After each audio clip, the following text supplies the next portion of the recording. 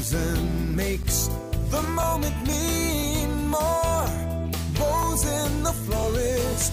With Valentine's Day falling on a Monday, uh, here at Boesen's, we're prepared for that Monday phone call. Certainly it helps getting, getting the call in advance, but you can call us as late as noon on Monday and we're still going to attempt delivery. So please give us a call, keep it local, and keep it fresh.